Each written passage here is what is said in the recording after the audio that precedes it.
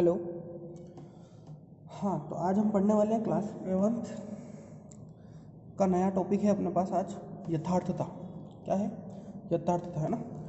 यथार्थता का मतलब क्या होता है?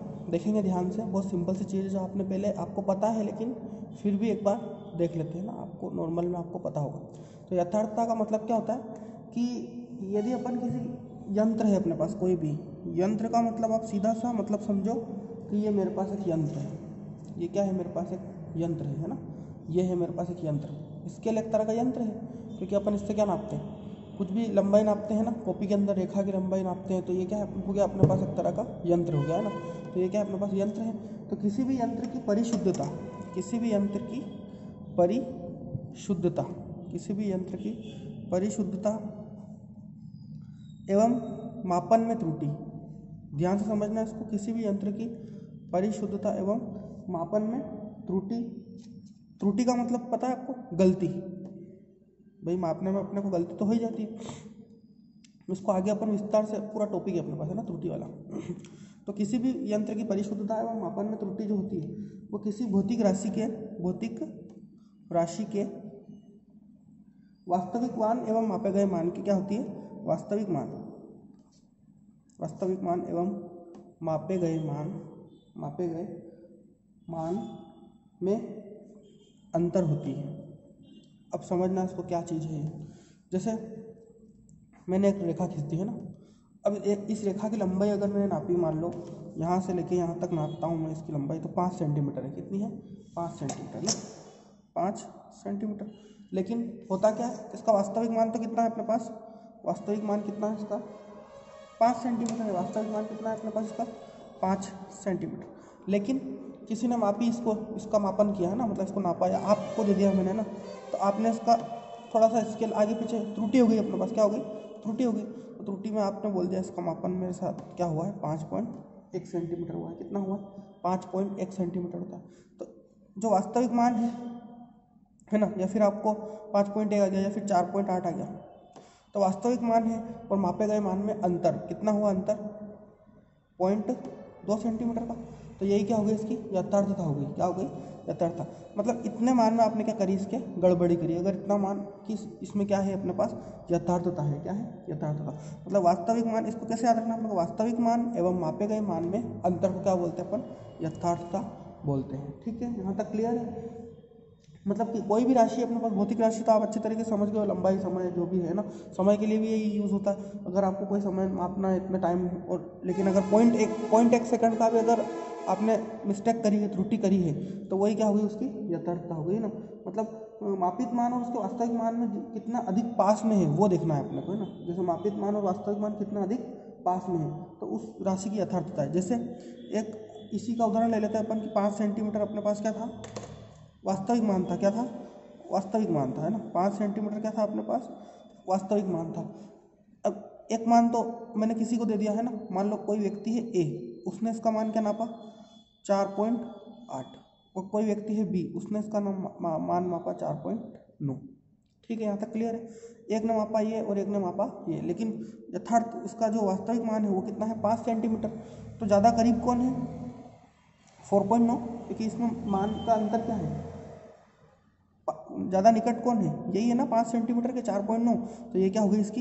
यथार्थता हो गई। फोर पॉइंट नाइन क्या हो गई इसकी? यथार्थता हो गई। तो मेरे हिसाब से यहाँ तक आपको क्लियर हो गया होगा, है ना? यथार्थता क्या होती है? वैसे सिंपल चीज़ है, कोई ज़्यादा एग्ज़ाम में पूछता भी नहीं, अगर पूछता है तो सिर्फ़ डेफिनेशन पूछता है।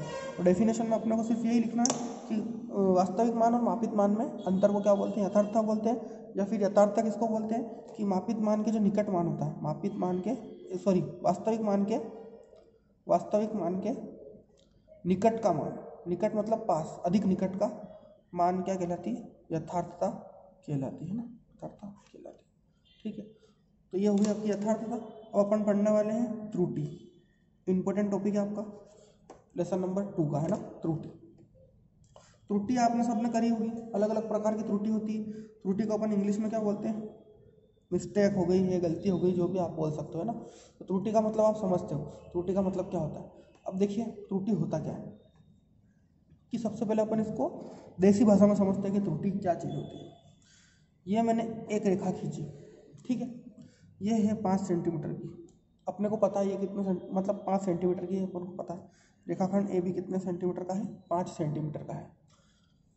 मैंने किसी व्यक्ति को दिया, आप में से किसी को दिया कि भाई, ये रेखाखंड की लंबाई मुझे नाप के दिखाओ, है ना? तो आप बोल रहे हो कि सर, इसकी लंबाई है चार पॉइंट आठ सेंटीमीटर। मान लो आपने इतनी नापी है ना, चार पॉइंट आठ सेंटीमीटर। एक कोई मुझे बोल रहा है स्टूडेंट की इसकी सर लंबाई है पाँच पॉइंट दो सेंटीमीटर। कोई बोल रहा है फाइव पॉइंट वन सेंटीमीटर है सर। तो ये क्या हुआ? त्रुटि हुई, है ना? क्या हुआ? जैसे इसकी वास्तविक लंबाई क्या थी? पाँच सेंटीमीटर थी। आपने ये ये नापी कोई पाठ्यांक ए कोई है बी, कोई सी, किसी ने ये रीडिंग ली, किसी ने ये रीडिंग का मतलब क्या होता है देखो रीडिंग का मतलब होता है जो अपना मान आ रहा है ना, किसी काम को करने में जो भी अपना रिज़ल्ट निकल के आ रहा है, उसको क्या बोलते हैं अपन? रीडिंग क्या बोलते हैं? रीडिंग बोलते हैं। या फिर हिंदी में बोलते हैं उसको पाठ्यांक, क्या बोलते हैं? पाठ्यांक। तो ये मान निकल के आ रहा है तो ये आपने क्या कर दी? त्रुटि कर दी।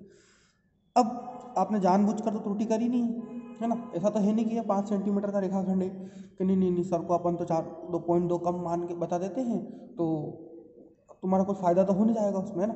या सर को अपन पॉइंट दो बढ़ा के बता देते हैं। ऐसा तो कुछ होता नहीं तो त्रुटि आपसे मतलब जानबूझकर तो करी नहीं, आपसे हुई है।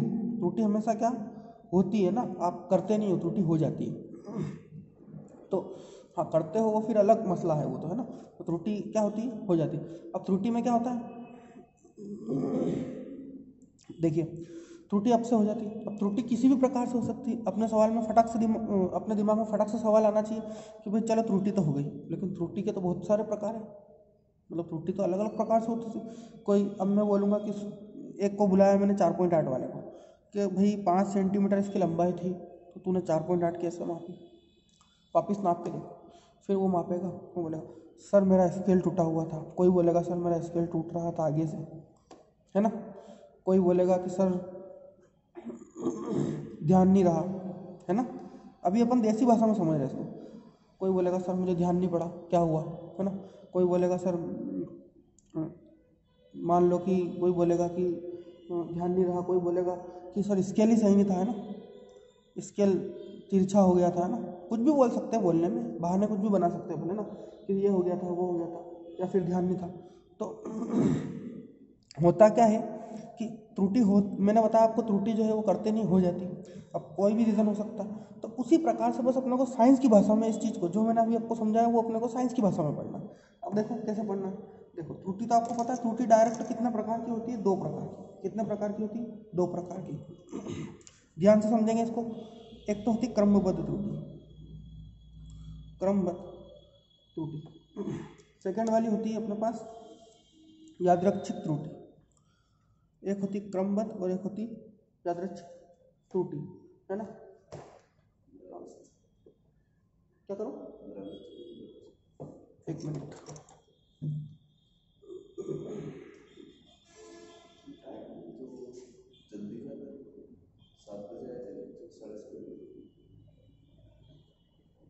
सात पैंतालीस है और ये है अपना का दस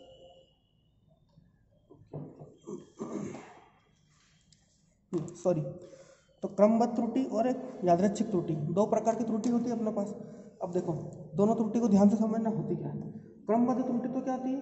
कि जिसमें क्रमबद्ध का मतलब अगर अपन इसमें इंग्लिश में अगर देखें तो स्टेप बाय स्टेप है ना? ये होती है ना, क्रमबद्ध मतलब स्टेप से चलना, है ना? तो क्रमबद्ध त्रुटि में क्या होता है कि ऐसी त्रुटि है जिसमें एक ही दिशा में धनात्मक या ऋणात्मक की ओर जाती है। जैसे इनका कारण ज्ञात होने पर भी इनको कम कर सकते हैं। जैसे एक तो ये क्या हो सकती है, धनात्मक और ऋणात्मक हो सकती है त्रुटि धनात्मक भी हो सकती है और ऋणात्मक भी हो सकती है ना? और इनका कारण अपने को ज्ञात कर, ज्ञात हो जाए अगर। जैसे जैसे मैंने पूछा ना आपसे कि स्केल टूटा हुआ, आपने बोला कि भाई त्रुटि क्यों हुई? लंबाई कम क्यों ना तो आप बोलोगे स्केल टूटा हुआ था सर तो इसका कारण ज्ञात हो गया अपने को कि भाई त्रुटि कैसे हुई? स्केल टूटा हुआ था। तो अपन क्या करा? नया स्केल लेके आ गए। सिंपल सी बात है, नया यंत्र लेके आ गए अपन। तो त्रुटि क्या हो गई? दूर हो गई। तो वही क्रमबद्ध त्रुटि इसका कारण ज्ञात होने पर इसे दूर कर सकते हैं। इस त्रुटि को क्या कर सकते हैं? दूर कर सकते हैं।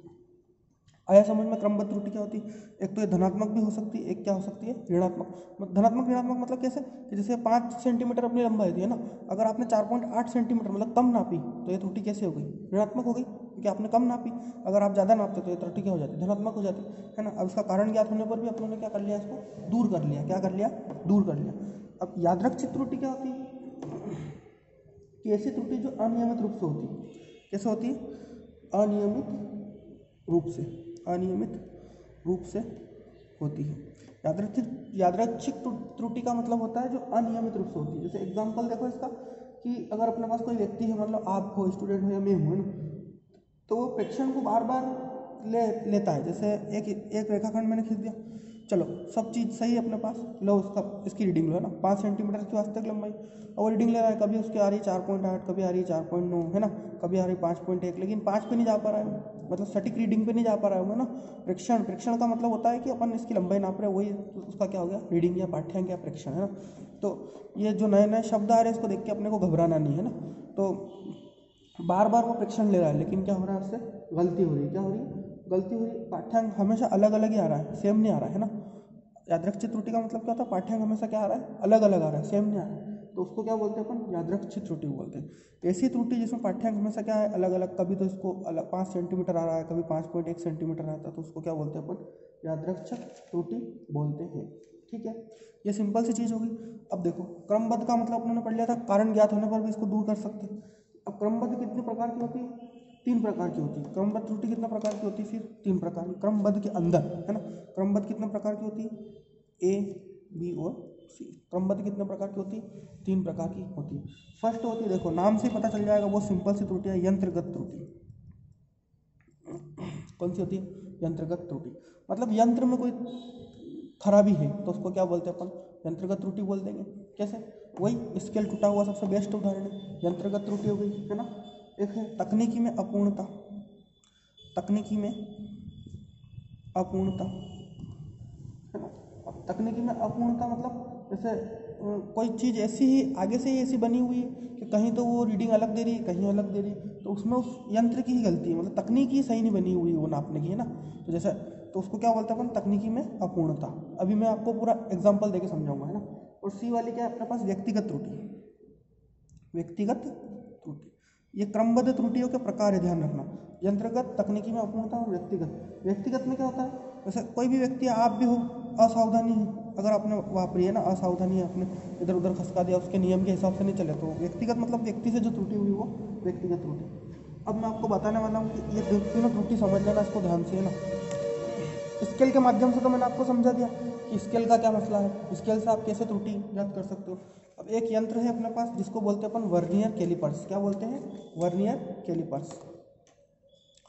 इसका नाम होता है वर्नियर कैलिपर्स, जो अपने इलेवंथ के अंदर प्रैक्टिकल है, फ़र्स्ट वाला ही।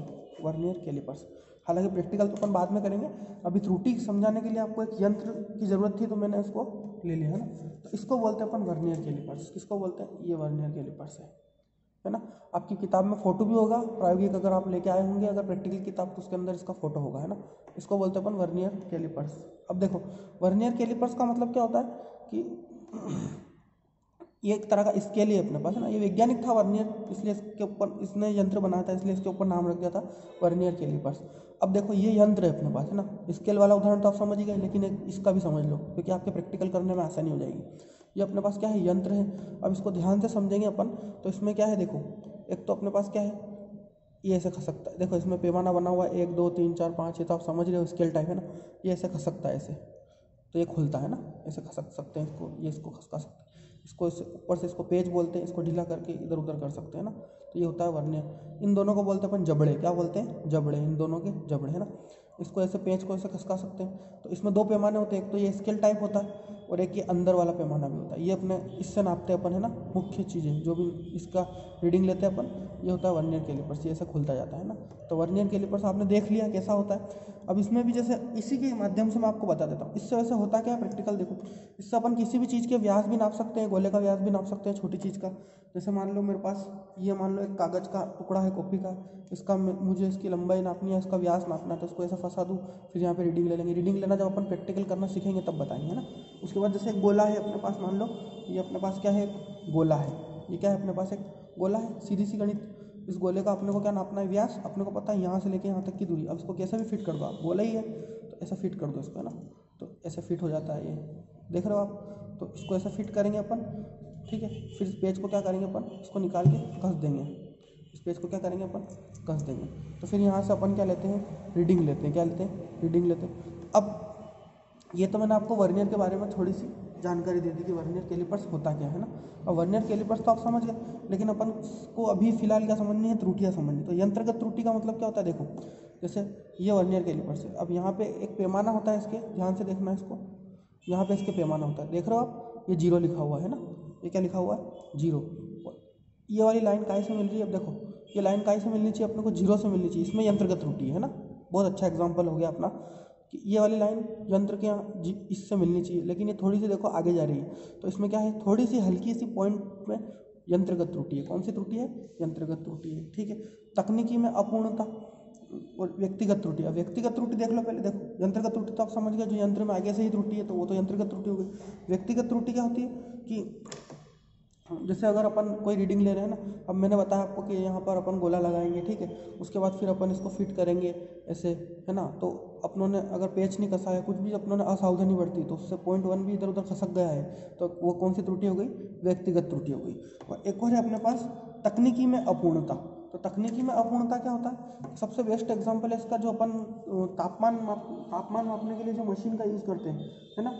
शरीर का ताप ज्ञात करते हैं ना? शरीर का ताप ज्ञात करते हैं। तो अब उसकी तकनीक ऐसी बनी हुई है ना। अब वो कैसे ज्ञात करते हैं कि वो टेम्परेचर अपने बॉडी का टेम्परेचर बता देता है अपने को। क्या बता देता है? बॉडी का टेम्परेचर फोर एन या डिग्री सेंटीग्रेड में अपने को बता देता है। तो अपन जैसे सर पे लगाते हैं ना, सर पे लगाते हैं तो या फिर अपन मान लो कि हाथ की नस, या हाथ की जो कलाई होती है, वहाँ पे भी इसको लगा के चेक करते हैं। तो तापमान सेम आता है। लेकिन अगर व्यक्ति, अगर जैसे हाथ के जैसे हाथ के नीचे वाला जो हिस्सा है अपन जिसको बगल बोलते हैं ना, यहाँ पर अगर अपन उसको मशीन लगाएँगे तो अपने को पता है यहाँ पे हमेशा अपने शरीर का तापमान क्या रहता है? ज़्यादा ही रहता है। तो यहाँ पे वो तापमान हमेशा क्या बताएगी? ज़्यादा ही बताएगी। कभी भी आप नोटिस करना, तापमान हमेशा क्या बताएगी वो? तापमापी ज़्यादा ही बताएगी। सिर, जैसे अपन हेड पे लगाएँगे ना, सिर पे, या फिर अपन हैंड पे लगाएँगे कलाई पे तो उससे तापमान हमेशा ज़्यादा ही बताएगी वो कहाँ का? जैसे क्योंकि यहाँ बगल के अंदर लगाएँगे अपन उस मशीन को तो वो तकनीकी में अपूर्णता है। क्या है वो? तकनीकी ही आगे से बनी ऐसी है वो कि तकनीक में उसमें अपन कुछ भी नहीं कर सकते ना? तो हाँ लगे, आगे कोई वैज्ञानिक आएगा तो उसको सुधारेगा, है ना? तो तकनीकी में अपूर्णता तो देखो अब ये क्रमबद्ध त्रुटियाँ मैं क्यों डाली? क्योंकि देखो यंत्रगत त्रुटि अपनों ने देखा, अभी कि वो लाइन उससे नहीं मिल रही थी, है ना? या फिर ये स्केल है मेरे पास, है ना? अब ये स्केल को अगर मैं यूँ कर दूँ, यूँ कर दूँ तो थोड़ी सी पॉइंट वन में भी लंबाई लंबाई चौड़ाई अपन नापेंगे तो अपन बढ़ घट जाएगी तो क्या हो जाएगा वो? यंत्रगत त्रुटि हो जाएगी। लेकिन अपनों ने क्या पढ़ा? क्रमबद्ध त्रुटि में कि इसका कारण ज्ञात होने पर इसको दूर कर सकते हैं। तो अपन नया स्केल लेके आ जाएँगे सिंपल सी बात है, इसको दूर कर देंगे। तकनीकी में अपूर्णता उसको भी कोई ना कोई दूर करेगा, है ना? और व्यक्तिगत त्रुटि, असावधानी बढ़ती है अपनों ने, मान लो। स्केल नापने में ना, या फिर जैसे अपन एक रेखाखंड की लंबाई नाप रहे मैंने असावधानी ऐसे बढ़ती कि थोड़ा सा स्केल ऐसे कर दिया, ऐसा ध्यान नहीं लगाया, है ना? तो फिर अगली बार क्या करेंगे कि हाँ यार, ये असावधानी हो गई तो अब इसको सावधानी से अपन इसको स्केल की लंबाई नापेंगे, है ना? तो ये इसको भी दूर कर सकते तो ये कौन सी त्रुटि में आ गई क्रमबद्ध तो तीनों त्रुटि आप लिख सकते हो, व्यक्तिगत तकनीकी और यंत्रगत व्यक्ति की और तकनीकी और व्यक्तिगत त्रुटि। ये तीनों की परिभाषा भी आप लिख सकते हो और एग्ज़ाम्पल भी आप लिख सकते हो, ठीक है? यादरक्षित त्रुटि मैंने आपको बता दी, अनियमित रूप से होती है ना? कैसे होती है, जैसे अपन बार बार रीडिंग ले, हर चीज़ की अपन बार बार रीडिंग ले, लेकिन बार बार क्या आ रही अलग ही आ रही सेम नहीं आ रही तो वो कौन सी त्रुटि हो जाती है यादरक्षित त्रुटि बोलते हैं। यहाँ तक आपका क्लियर हो गया। अब एक होता है अल्पतमांक। क्या होता है? अल्पतमांक। एक होता है अपना अल्पतमांक, है ना? अल्पतमांक क्या होता है? देखना ध्यान से।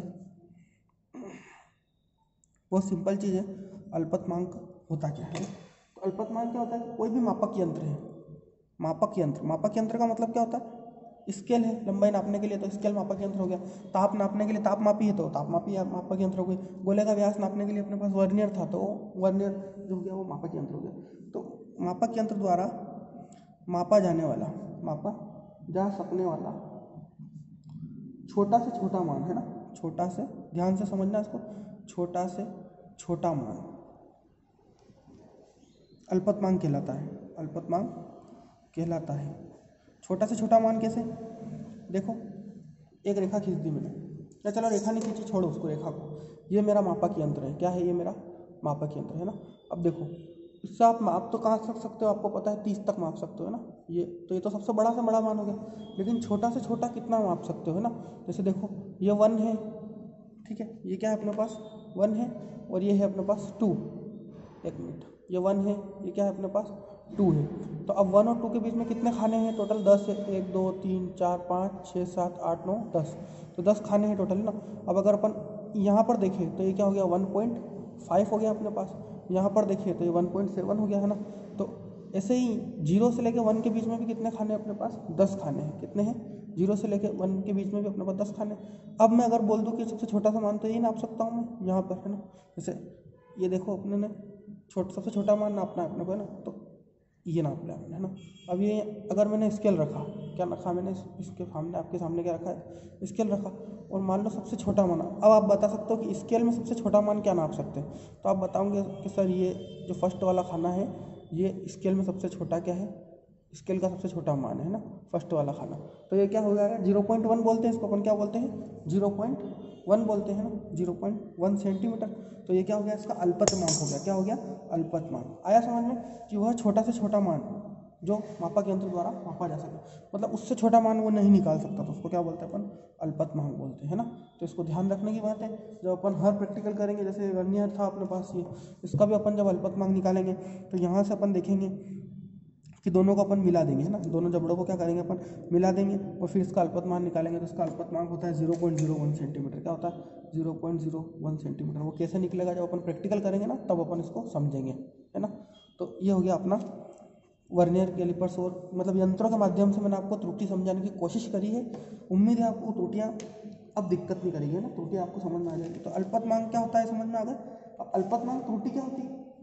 ये तो हो गया अपने पास अल्पतमांक समझा। अब ऐसे अगर पूछ ले आपको, अल्पतमांक त्रुटि क्या होती है? अल्पतमांक त्रुटि क्या होती है? एक त्रुटि और होती है अल्पतमांक। तो ऐसी त्रुटि जो मापक यंत्र में विभेदन से संबंध होती है, किससे संबंध होती है? वैसे कोई पूछता नहीं, विभेदन से संबंध हो मतलब अल्पतमांक के कारण अगर कोई त्रुटि आए तो उसको क्या बोले? अल्पतमांक के कारण अगर कोई त्रुटि आ जाती है तो उसको क्या बोलते हैं अपन अल्पतमांक? त्रुटि बोलते हैं अगर आपने अल्पतमांक सही नहीं नहीं नापा है, या फिर उसका आपको सही पता नहीं है, या फिर यंत्र के कारण त्रुटि आ रही है तो अल्पतमांक खिसक जाता है ना तो उसको बोलते हैं अपन अल्पतमांक त्रुटि, ठीक है? अब एक चीज़ और जैसे एक ही प्रकार के यंत्र है, जैसे अपने पास स्केल है तो स्केल सभी स्केल का अल्पतमांक ज़ीरो पॉइंट वन सेंटीमीटर ही होता है। आपने कोई स्केल ऐसा तो नहीं देखा ना, जो जो zero point zero one centimetre नापता? सब ज़ीरो पॉइंट वन ही नापते हैं, छोटा से छोटा मान, है ना? ये कोई नहीं नापता स्केल क्योंकि ये सबसे छोटा मान है और ये वर्नियर नापता है ना तो ज़ीरो पॉइंट वन सेंटीमीटर होता। तो ये आपकी त्रुटि यहाँ से, यहाँ तक जो डेफिनेशन वाली त्रुटि थी, वो आपकी क्या हो गई? खत्म हो गई। अब तीन त्रुटि हो रहे और वो सबसे इंपॉर्टेंट त्रुटि है ना। तीन त्रुटि और बची। देखो, एक बार मैं आपको वापस बता देता हूँ कि क्रमबद्ध त्रुटि में अपने तीन प्रकार की पढ़ी जो सिंपल सिंपल त्रुटि थी, दैनिक जीवन में अपन कर देते हैं, छोटी मोटी त्रुटि थी, है ना। यादरक्षित त्रुटि अपनों ने पढ़ ली, अनियमित रूप से होती है बार बार परीक्षण लेने से होती है अल्पतमांग अपनों ने पढ़ लिया अल्पतमांग त्रुटि अपनों ने पढ़ ली। अब तीन इंपॉर्टेंट त्रुटि जो है, वो आपको देखनी है। सबसे पहली त्रुटि है निरपेक्ष त्रुटि। जिसमें से एग्ज़ाम की दृष्टि से अपन पढ़ रहे हैं तो एग्ज़ाम की दृष्टि से भी इम्पोर्टेंट है और हर दृष्टि से इम्पोर्टेंट है। सवाल आने की, और इस पर क्या सवाल भी आते हैं मैथ्स के? वो सवाल भी अपन बाद में करेंगे, पहले इसको समझ लेते हैं कि निरपेक्ष त्रुटि क्या होती है। तो निरपेक्ष त्रुटि क्या होती है, देखो, कि यदि कोई भौतिक राशि अपने पास, है ना? भौतिक राशि तो आपको समझाने की ज़रूरत नहीं है। एक बार और लास्ट बार लिख रहा हूँ। अब आपको भौतिक राशि जैसे बोले समझ में आ जाना चाहिए। लंबाई हो गई द्रव्यमान हो गया और समय हो गया, है M L T M L T तो ये क्या हो गया अपने पास? भौतिक राशियाँ हैं तीनों मेन वैसे सात मूल भौतिक राशि अपन फ़र्स्ट लेसन के अंदर पढ़ चुके हैं ना? तो कोई भी भौतिक राशि, उसके व्यक्तिगत मान तथा वास्तविक मान के अंतर को, व्यक्तिगत मान व्यक्तिगत मान और वास्तविक मान के अंतर को। सही समझना इसको? व्यक्तिगत मान, वास्तविक मान के अंतर को क्या बोलते हैं अपन? निरपेक्ष त्रुटि कहते हैं। निरपेक्ष त्रुटि कहते हैं। जो अपने यथार्थता पढ़ी थी ना, उस टाइप की है थोड़ी सी। व्यक्तिगत मान और वास्तविक मान। अब व्यक्तिगत मान और वास्तविक मान क्या होता है? एक रेखा खींची। इसका वास्तविक मान कितना? वास्तविक मान मतलब रियल मान पाँच सेंटीमीटर मैंने खींची मैंने नापा इसको तो इसके कितना है? मेरे पास चार पॉइंट आठ सेंटीमीटर क्या आया चार पॉइंट आठ सेंटीमीटर तो जो वास्तविक मान तो क्या था? पाँच था, लेकिन व्यक्तिगत मतलब मेरा पर्सनली मान क्या आया फोर पॉइंट एट तो व्यक्तिगत और मान और वास्तविक मान में अंतर निकालूँगा तो दोनों में अंतर कितना है? पाँच माइनस फोर पॉइंट एट तो कितना है? ज़ीरो पॉइंट टू आया। ज़ीरो पॉइंट टू सेंटीमीटर तो ये क्या हो गई? मेरी निरपेक्ष त्रुटि हो गई। क्या हो गई? बहुत सिंपल सी चीज़ है। दोनों का माइनस करेंगे जो मान आएगा, जितनी त्रुटि हुई वो बता देगा। तो उसको क्या बोलते हैं अपन? निरपेक्ष त्रुटि। बहुत सिंपल सी त्रुटि है ना? इसको अपन प्रदर्शित करते हैं डेल ए से। किससे प्रदर्शित करते हैं? डेल ए से। इसको बोलते हैं अपन डेल। क्या बोलते हैं? त्रिभुज का जो निशान होता है, इसको बोलते हैं अपन डेल। और ए मतलब क्या होता है? जैसे कोई पाठ्यांक मान लेंगे अपन तो वो डेल ए बोल देंगे। अभी मैं समझा देता हूँ। त्रुटि के आगे हमेशा डेल लगता है। त्रुटि का निशान होता है डेल। और आगे समझ में आ जाएगा तुमको क्या होता है ना। अब देखो, भौतिक राशि, अगर कोई, जैसे अपन किसी भौतिक राशि है ना उसका अपन पाठ्यांक लेते हैं। जैसे मान लो एक स्केल की लाइन खींची, अब आप इसको दस बार नापो या बीस बार नापो, कितनी भी बार नापो। जैसे एक बार नापो, आपका पाँच आया, दूसरी बार नाचा पाँच पाँच पॉइंट एक आया फोर पॉइंट टू आया फोर पॉइंट एट आया, कितनी भी बार नाप सकते हो ना। तो अपन पाठ्यांकों को किससे प्रदर्शित कर देते हैं मान लो फ़र्स्ट वाला है अपना ए वन है ना? सेकंड वाला है ए टू ए थ्री है ना? ऐसे नाप सकते हो अपन। तो ऐसे कितनी भी बार नापा, आपने समझ लिया एन बार नापा, कितनी बार? ए एन तो इसको कैसे नापेंगे कि मान लो क्रमशः मान कितने हो गए?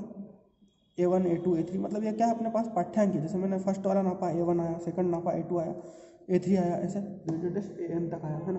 तो इसका निकाल लो आप, माध्य, क्या निकाल लो? माध्य। और माध्य का सूत्र आपने अच्छे तरीके से पढ़ रखा होगा, है ना? राशियों का योग बटा राशियों की संख्या, राशियों का योग बटा राशियों की संख्या, है ना? अब देखो, राशियों का योग मतलब कितनी राशि है अपने पास? ए वन है ए टू है ए थ्री ऐसे बहुत सारी राशि है। तो a one plus a two plus a three क्या हो गया? ए एन बटा। राशियों की संख्या, राशियों की संख्या कितनी है अपने पास? टोटल एन राशि। तो ये क्या हो गया? इसका माध्य निकाल लिया अपने निरपेक्ष त्रुटि का क्या निकाल लिया? माध्य। है ना? तो इसको क्या बोलते हैं अपन? माध्य निरपेक्ष त्रुटि बोलते हैं। क्या बोलते हैं? माध्य। निरपेक्ष त्रुटि तो सिंपल है कि वे व्यक्तिगत मान और वास्तविक मान के अंतर को क्या बोलते हैं? अपन निरपेक्ष त्रुटि बोलते हैं। दोनों को माइनस कर लो, जो आई वो, निरपेक्ष त्रुटि हो जाएगी। लेकिन अगर अपने को माध्य निकालना है, माध्य निरपेक्ष त्रुटि निकालनी तो इन सबका क्या निकाल दो? प्रेक्षणों का माध्य निकाल देंगे तो अपन क्या हो जाएगी? माध्य निरपेक्ष त्रुटि। अब त्रुटि जैसे अपने पास पाठ्यांक ए था, है ना? या ए वन था, एक ए टू था, एक ए थ्री था, है ना? तो अपन इसको कैसे लिखेंगे? डेल ए वन त्रुटि त्रुटि मतलब जो पाठ्यांक है उसके आगे डेल लगा देंगे तो ये क्या प्रदर्शित कर रहे हैं अपन? त्रुटि। Del a one is equal to m a m minus a one a m का मतलब क्या हो गया? मैं लिख देता हूँ साइड में। ए एम का मतलब क्या हो गया? वास्तविक मान। वास्तविक मान। और ए वन का मतलब क्या हो गया? व्यक्तिगत मान, है ना? व्यक्तिगत मान। वही बात हो गई जो अपनों ने एग्ज़ाम्पल लिया था कि वास्तविक मान तो पाँच है, व्यक्तिगत मान क्या? फोर पॉइंट एट तो पाँच में से फोर पॉइंट एट चला जाएगा बस। ऐसे ही एक और प्रेक्षण लिया मान लो तो डेल ए टू तो ये क्या हो जाएगा? वास्तविक मान तो फिक्स ही रहता है, हमेशा अपने को पता है कि इसकी लंबाई इतनी तो इतनी ही रहेगी। माइनस आपका अब प्रेक्षण क्या था? ए टू तो ऐसे ए टू ऐसे डे ए थ्री बराबर a m minus a three तो ये आपको समझ में आ गया होगा कि निरपेक्ष त्रुटि कैसे निकाली जाती है, निरपेक्ष त्रुटि के सवाल कैसे होते हैं ना? ठीक है? यहाँ तक कोई क्लियर कोई दिक्कत नहीं होनी चाहिए मेरे हिसाब से। अब निरपेक्ष त्रुटि क्या होती है? धनात्मक, ऋणात्मक और शून्य, तीन प्रकार की हो सकती है। इसका मान धनात्मक भी आ सकता है, ऋणात्मक भी आ सकता है और ज़ीरो भी आ सकता है। है ना? निरपेक्ष त्रुटि की विशेषता है। कैसे? देखो, वास्तविक मान पाँच था। मैंने लंबाई निकाली फोर पॉइंट एट तो पाँच में से फोर पॉइंट एट गई तो कितनी? ज़ीरो पॉइंट टू यहाँ तक तो ये तो प्लस में आया लेकिन अगर वास्तविक मान तो पाँच ही था, और मेरे से गलती से कितना नाप गया? Five point one. अब इसमें से घटाएँगे तो क्या आएगा? माइनस का ज़ीरो पॉइंट वन आया तो हो गई ना। निरपेक्ष त्रुटि। ऋणात्मक हो गई है ना? और शून्य भी हो सकती है। वास्तविक मान ही निकाल लो आप, है ना? लेकिन हल्की सी भी त्रुटि होगी तो वो ज़ीरो के लगभग बराबर ही हो जाएगी तो वो कौन सी त्रुटि हो जाएगी? शून्य हो जाएगी, है ना? यहाँ तक समझ में आ गया? अच्छा एक चीज़ और आपने पढ़ी हो मैथ्स में, या नहीं भी पढ़ी हो तो यहाँ पर समझ लो उसको जैसे अपने पास क्या है? ए है। है ना? ये तो प्रेक्षण है, अपने पास कोई भी मान निकाल। उसके आगे अगर मैं डेल लगा दूँ तो ये क्या हो गई अपने पास त्रुटि हो गई। ए के अंदर क्या हो गई? त्रुटि। पहले सिर्फ़ ए था तो ये प्रेक्षण था। इसके आगे डेल लगाया मतलब त्रुटि निकाल रहे अपन, है ना? त्रुटि का चिन्ह। ये उस चिन्ह आपने पढ़ा हो, दोनों डंडे आसपास। इसको बोलते हैं अपन मोड। क्या बोलते हैं? मोड। और कोई भी चीज़ मोड में आती है तो वो क्या हो जाती है? धनात्मक हो जाती है। क्या हो जाती है? धनात्मक हो जाती है। जैसे कोई, मैंने संख्या दे दी आपको, माइनस का पाँच, और मैंने बोला इसका मोड निकालो। तो मतलब माइनस पाँच को आप काय में बंद कर दोगे मोड में। तो अब ये संख्या बाहर कैसे आएगी? प्लस पॉजिटिव हो जाएगी। कैसे हो जाएगी? पॉजिटिव तो मोड का मतलब ध्यान रखना पॉजिटिव होती है और निरपेक्ष त्रुटि हमेशा कौन सी हो जाएगी? अपने पास पॉजिटिव प्रकार की हो जाएगी। कौन सी हो जाएगी? पॉजिटिव मतलब धनात्मक। मोड ऑफ़ ए मतलब मोड ऑफ़ ए का मान हमेशा क्या होगा अपने पास? धनात्मक होगा। क्या होगा? धनात्मक होगा। तो मेरे मेरे हिसाब से आपको निरपेक्ष त्रुटि में कोई भी दिक्कत नहीं आनी चाहिए। फिर से अगर समझना हो तो एक बार देख लो, प्रेक्षण है अपने a one a two a three data N अगर उसका माध्य निकालेंगे तो क्या बोल देंगे उसको? माध्य निरपेक्ष त्रुटि बोल देंगे, माध्य निकालना आपको आता है। अगर अपने को अलग अलग त्रुटि निकालनी है तो वास्तविक मान माइनस व्यक्तिगत मान। वास्तविक मान सेम रहता है, इसलिए a m a m a m मैंने लिख दिया है ना ओरिजिनल मान। माइनस इसमें से प्रेक्षण फ़र्स्ट वाला था तो ए वन घटा दिया सेकंड वाला था तो ए टू और थर्ड वाला था तो ए थ्री घटा दिया। ठीक है? अब छोटी छोटी त्रुटि दो और है बस, वो देख लेते हैं अपन, है ना? लास्ट त्रुटि क्या है अपने पास? कि देखो क्या होता है इसमें? प्रतिशत त्रुटि। या फिर पहले देख लेते हैं अपन, आपेक्षिक त्रुटि क्या होती है आपेक्षिक त्रुटि। तो आपेक्षिक त्रुटि क्या होती है? देखो, निरपेक्ष त्रुटि तो आपने देख ली। एक होती है आपेक्षिक त्रुटि। ये भी इम्पोर्टेंट इम्पोर्टेंट वाली त्रुटि है ना? तो माध्य निरपेक्ष त्रुटि जो होती है उसके माध्य मान को क्या बोलते हैं अपन? आपेक्षिक त्रुटि बोलते हैं। इसका सूत्र लिख देता हूँ डायरेक्ट आपेक्षिक त्रुटि इज़ इक्वल टू माध्य निरपेक्ष त्रुटि। माध्य निरपेक्ष त्रुटि बटा माध्यमान। माध्य निरपेक्ष त्रुटि बटा माध्यमान। ये फॉर्मूला अपने को याद रखना।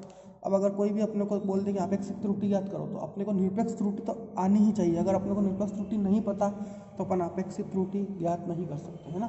निरपेक्ष त्रुटि अगर अपने को पता होगी तो सबसे पहले अपन क्या करेंगे? वही सूत्र लगाएँगे a one is equal to del a one is equal to a m minus a one फिर del a two is equal to a m minus a two फिर del a three is equal to a m minus a three ऐसे अपन त्रुटि निकालेंगे, सबकी, है ना? उसके बाद त्रुटि निकालने के बाद अपन क्या करेंगे? इनका सबका माध्यमान निकाल लेंगे। क्या निकाल लेंगे? इनका माध्यमान निकाल लेंगे। तो माध्यमान अपने को पता है, मैंने बता दिया, आपको निकालना। दोनों का क्या कर देंगे? भाग। तो इसका डेफिनेशन क्या बनती है? कि माध्य निरपेक्ष त्रुटि। माध्य निरपेक्ष त्रुटि और माध्यमान।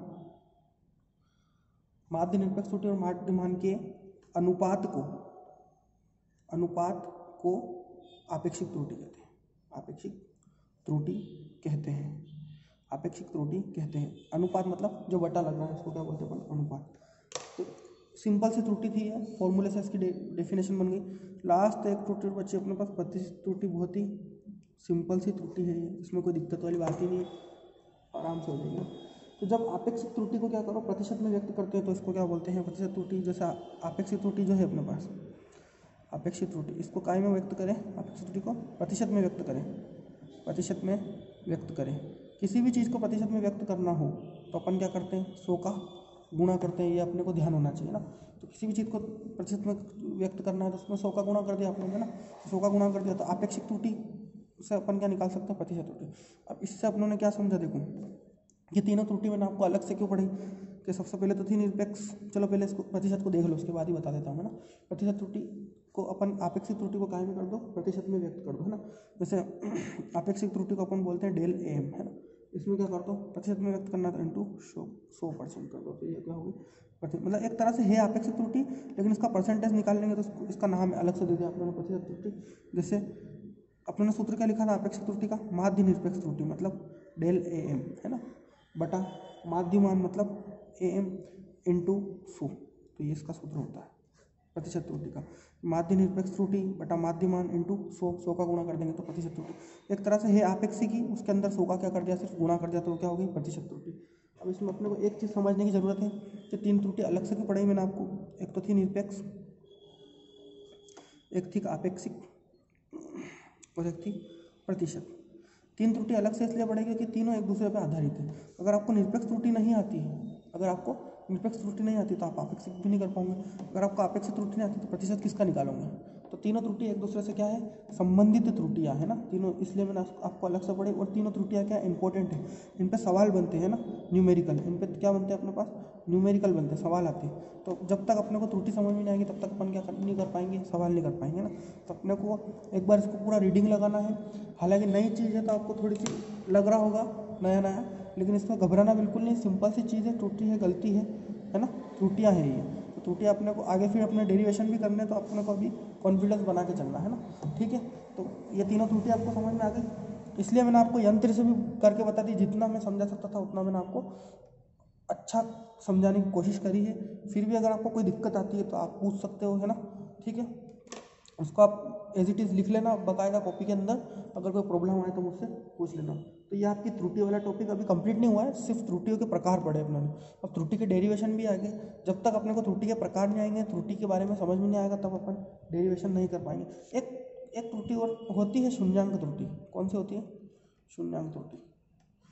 मतलब जिसका मान क्या होता है? शून्य होता है उसको, क्या बोलते हैं अपन? शून्य त्रुटि ये कोई इंपॉर्टेंट चीज़ नहीं है सिंपल सी चीज़ है। ये वैसा होती नहीं है नॉर्मल में वैज्ञानिकों ने तो नहीं बताई है, लेकिन फिर भी अपनों ने बता दिया कि शून्यांक त्रुटि अगर जिसका मान शून्य हो, कभी पूछ ले बुलावट का तो अपने को ध्यान देना चाहिए शून्यांक त्रुटि क्या होती है? तो त्रुटियों के बारे में अपनों ने जानकारी ले ली कि भाई त्रुटियाँ क्या होती है? अपनों ने यंत्रों के माध्यम से भी अपनों ने जानकारी ले ली, थ्योरी के माध्यम से भी जानकारी ले ली, सूत्रों के माध्यम से भी जानकारी ले ली, सब तरीके से अपनों ने त्रुटि को रीडिंग कर लिया है आप एक बार अगर नहीं समझ में आया तो दूसरी बार वापस देखना। लेकिन कॉन्फिडेंस नहीं तोड़ना है, त्रुटि सिंपल सी चीज़ है, मेरे हिसाब से सिंपल चीज़ है, और आपको अब सूत्र तो खैर अपने को याद करने ही पड़ेंगे, जैसे अपेक्षित त्रुटि है माध्य निरपेक्ष त्रुटि, बटा माध्यम तो इस सूत्र का तो अपन कुछ नहीं कर सकते, उन्होंने बता रखा है अपेक्षित त्रुटि ऐसी होती है तो अपन, प्रतिशत त्रुटि अपेक्षित त्रुटि में सौ का गुणा करो, प्रतिशत त्रुटि आ गई तो इस त्रुटियों को अपने को क्या करना पड़ेगा? याद करना पड़ेगा, ठीक है? तो ये त्रुटि आप याद कर लेना। उसके बाद फिर अपन अगली बार देखेंगे त्रुटियों में सवाल कैसे करते हैं ना? और जो अपनों पद्धतियाँ पढ़ी थी मात्रक की M K S C G S और एफ़ पी एस है ना? तो पद्धति में चीज़ों को चेंज कैसे करते हैं ना? और एक टॉपिक और रहेगा अपना बड़ा, जैसे त्रुटि है ना, वैसा ही वीमा। तो वीमा अपन लास्ट में देखेंगे, पहले इसलिए अपन पहले त्रुटि देख रहे हैं। वीमा भी बहुत सिंपल सा टॉपिक है। तो ऑल द बेस्ट आप सबको आप ढंग से पढ़ें, दिल लगा के पढ़ें। धन्यवाद।